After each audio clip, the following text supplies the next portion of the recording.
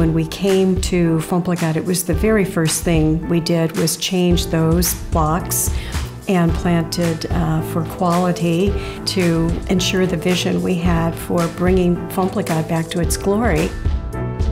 And in order to make a world class wine, high standards are important to me.